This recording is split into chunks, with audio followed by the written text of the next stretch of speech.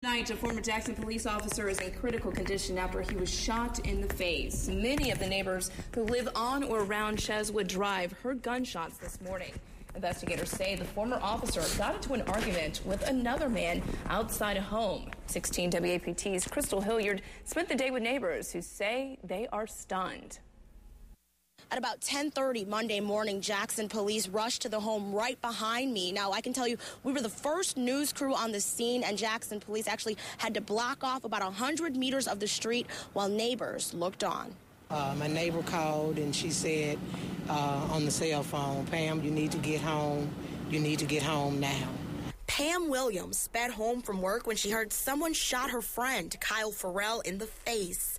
Ferrell is a former JPD officer who used to live here with his wife and kids. They're not together anymore. This is his estranged, his estranged wife house. He came here, and him and another male that was already here got into altercation.